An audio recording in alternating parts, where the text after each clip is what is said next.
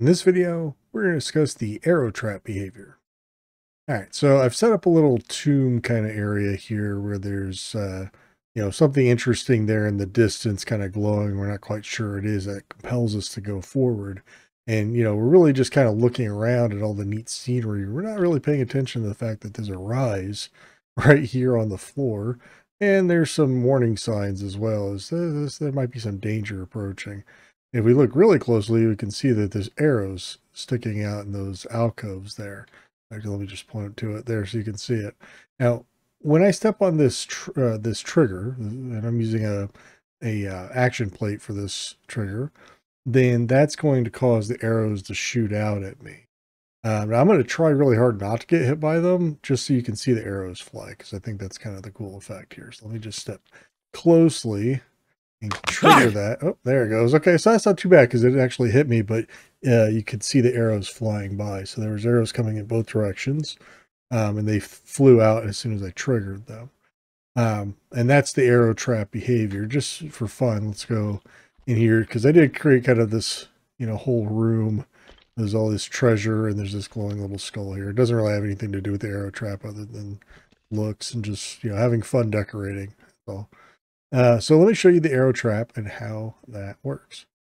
That's here. So here's our trigger. Now, doesn't have to be triggered. This is kind of a, a, a, nice addition that was recently added where you don't have to trigger it. I chose to trigger it in this case, um, but you don't have to. So here's the, the behavior. Behavior goes on the arrow. Now, it could be anything. It doesn't have to necessarily be this arrow. It, you know, this arrow comes with Max as a test uh, object, but you could literally anything that you want to fly across the room uh, could be turned into a projectile using this uh, this behavior. And we could use the trap range instead of a trigger. So in other words, if I get close to this trap, it could set it off just by, by proximity. Or if I've got it logic linked to something like this is, uh, then it's reliant on the, the trigger uh, to set it off instead. So your choice, however you want to do that. Have the trap speed, which is how fast is that projectile moving. And you, you saw those arrows didn't move particularly fast, mostly because I wanted you to be able to see them. Um, but you can speed that up by just increasing that number. You don't really want to go too high because it be like super, super fast, but you know, just use your best judgment there. Trap damage, uh, again, you don't necessarily want to go super high, especially if you're going to set the next portion to repeat because then that could kill somebody very quick unless that's your intent. Really just depends. But in my case, each arrow is doing 50 damage. That's 100 damage if both of them connect. Uh, then we have the trap mode. So trap mode is either one shot, you trigger it and it shoots and that's it, or repeating, which means it would continue to fire. As soon as it's triggered, it's just continuously fire, fire, fire, fire over and over and over again. And it really doesn't stop. So really just, you know, again, fit your scene the way you expect you, need it to be.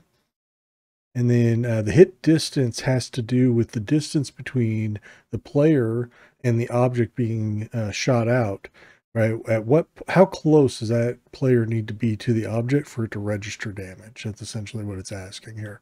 So I use 60, um, 60 units to be sure that it would hit me even if I wasn't, wasn't exactly aligned with the arrow. Um, so again, got to play test it. You got to work it out for yourself depending on your scene.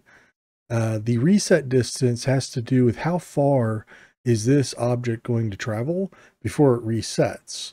Now, resetting on one shot just means it's going to disappear. Reshotting on uh, repeating means it, that's it. Let's suppose it, it fires, it goes 200 units, then it resets and it fires again, and it goes you 200 units at the speed that you've set, and then and, and so on. So um, that could be a combination of both the the uh, trap speed and the reset distance and dialing those two things in if you're using especially if you're using repeat to make sure that it's the right speed for what you're trying to set up.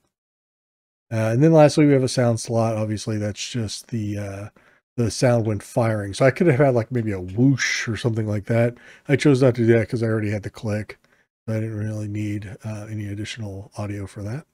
But you do have the option to add some sort of sound. So maybe you're shooting a laser or fireball or something to that effect. you know, then it uh, might sound different. Uh, but that's it. That's the arrow trap behavior explained. If you enjoyed the video or if you learned anything new, please be sure to click the like button down below. It helps me out a lot.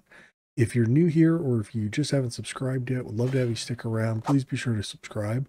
And lastly, if you'd like a notification for whenever new videos are posted, just click the bell icon and that'll let you know when a new video is ready for you. Uh, but thanks so much for watching all the way through. I appreciate it, and I'll see you in the next one. Bye for now.